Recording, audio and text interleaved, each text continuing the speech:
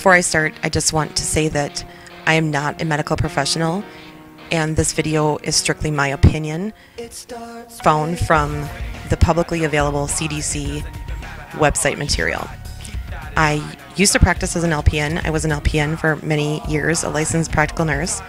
And by my own choosing, I chose not to practice in the field of nursing anymore for many reasons. Again, this is strictly my opinion. Bringing you guys here to the Center for Disease Control and Prevention website, otherwise known as the CDC. I've recently done some research and thought I would share what I found with you guys. Um, it's talking here about how it spreads, and they're saying it's person to person and spread from contact with infected surfaces or objects. So, droplet precaution is what they're talking about here, which means from um, sputum or mucus from nose and mouth. Um, when you cough or sneeze, the droplets, if they come into contact with another person's eyes, nose, mouth, you can get infected. They also talk about how the virus can live on objects such as doorknobs, light switches, telephones. And if you touch that object with the droplet on it and then put your hand in your eye, nose, mouth, etc., that you can become infected. Uh, they say that some viruses are highly contagious, like measles, but others are less so. They don't know yet. There's still more to be learned, they're saying. Uh, nowhere in here, when it's titled How COVID 19 Spreads, does it say anything about the airborne specific transmission. However, same CDC website. Uh, this one um, is in the healthcare professional tab on the side. The title for this one is Interim Infection Prevention and Control Recommendations for Patients with Confirmed 2019 Novel Coronavirus NCOV or persons under investigation in healthcare settings. Um, the part that I wanted to bring to your attention is if you scroll down, it talks about patient placement and where they should be placed once either suspected or been confirmed with the virus. Patient or place a patient with known or suspected NCOV, i.e., PUI, which means person under investigation, in a AIIR that has been constructed and maintained in accordance with current guidelines. AIIRs are single patient rooms at a negative pressure relative to surrounding areas and with a minimum of six air changes per hour. So these are specially constructed rooms in hospitals that are set up for negative airflow as to not spread what people are breathing in and out into the rest of the hospital.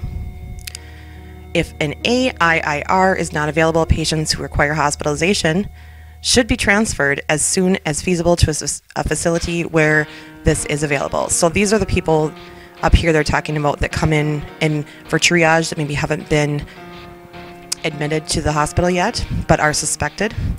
Those people are supposed to be in negative pressure rooms. Then if they are admitted to the hospital, they need to be admitted to these special negative pressure rooms. If the patient does not require hospitalization, they can be discharged to home. Okay, well, this is really concerning because if they come in and they're positive, they're supposed to be put in this AIR negative pressure room. But if their symptoms aren't to the point where they need to be hospitalized and monitored, then we can let them go. Okay, so that's just saying that we're going to keep spreading this disease when they're at home because obviously most people don't have negative pressurized air exchange in their homes, correct? Okay. So the people entering the room, you need to use protective. Um, I can't remember the acronym for this, but personal protective equipment, including respiratory respiratory protection, as described below. When they talk about respirator respiratory protection, they're talking about these respiratory um, N95 filtering facepiece respirators. These have to be fitted before use to each person, the, the healthcare provider, to assure that they're fit right, the filters are, you know, within guidelines, etc. This is not just a face mask. This is a special respirator. Okay. They talk about eye protection, and then they talk about aerosol generating procedures, aka a ventilator. So, what they're not telling you is there's a very high percentage of folks that are diagnosed with the NCOV that develop something called ARDS, which is acute respiratory distress syndrome. Acute respiratory distress syndrome is a secondary complication, if you want to say it. It's never caused on its own, it's never diagnosed on its own. It's usually caused from sepsis or severe pneumonia, but it's pretty much a respiratory shutdown of the entire body. Um, the lungs are unable to function because the tiny sacs, the alveoli in the lungs, aren't able to exchange the blood flow or the oxygen blood flow, and they get so full that without a ventilator, there's almost no chance the person can survive. I think it's a 90 some percent the people that it's fatal to once they get this acute respiratory distress syndrome. If someone has the ARDS and they have the COVID, they would need to be ventilated if there was a negative pressure room and if there was a ventilator available. When you're putting forced air down someone's trachea, all those droplets in the trachea are obviously contaminated with the virus. When the ventilator is put into the patient, those droplets become an aerosol form. So you've got now a virus that is aerosol droplets in the air, which are, you know, minuscule droplets that can stay in the air longer because they're lighter and they can travel farther because they're lighter. Which, if you didn't have a pressurized room, negative pressure room, God knows what can happen. I'm wondering if this is why China built these separate hospitals. Are they all negative pressure rooms? We don't know. Is this why so many healthcare providers are being infected? Because once you put that ventilator in, it is such, such, such a high transmission rate because you've got now this droplet, contaminated droplet, broken up into millions of little aerosol pieces that is highly, highly contagious. So that's something that I just wanted to bring to your attention. I don't think there's any reports out showing what percentage of people that are infected with the virus get the ARDS. Although it sounds like in reading most of the material that the people that are dying, that's what they're dying from, if we can believe the reports. The last thing I wanted to bring your attention, which is the most shocking to me, is the testing. And again, we're still up at the CDC website and we're on the testing tab. So it says the CDC has developed a new laboratory test kit for using um, in testing patient specimens for several acute respiratory syndrome coronavirus, the virus that causes COVID 19. The test kit's called the Center for Disease Control and Prevention Novel 2019 Novel Coronavirus Real Time Reverse Transcriptase Diagnostic Panel. It's a very long name. Okay, so um, it's intended for use with upper and lower respiratory specimens collected from persons who meet the CDC criteria for the testing for this virus. Its test kit is intended for use by laboratories designed, or des- excuse me, laboratories designated by a CDC as qualified and in the United States certified under the Clinical Laboratory Improvement Amendments to perform highly complex tests. Excuse me.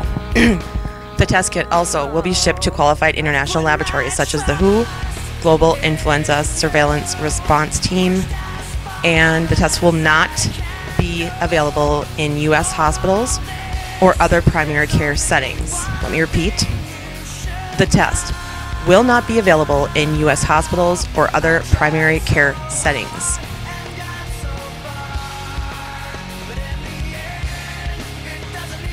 Okay, so here we are back at the CDC And the next tab is reporting a PUI for COVID 19, which means person under investigation. Tips to successfully submit a PUI. CDC is working closely with state and local health departments around the country to support PUI specimen referral. At this time, the following steps should be taken. Healthcare providers who are concerned a patient may be a 2019 novel coronavirus PUI should contact their local or state health department immediately for consultation and guidance. Health departments who have been notified of a new PUI should contact CDC's Emergency Operations Center, then it has the number, for PUI notification prior to sending specimens or documentation to CDC. Once a PUI has been determined, the CDC will issue the health department a PUI identification number and further specific guidance and information necessary to ship specimens. Meanwhile, 3,000 more people are subjected to the virus. So then they have this fillable form, PDF or Word form.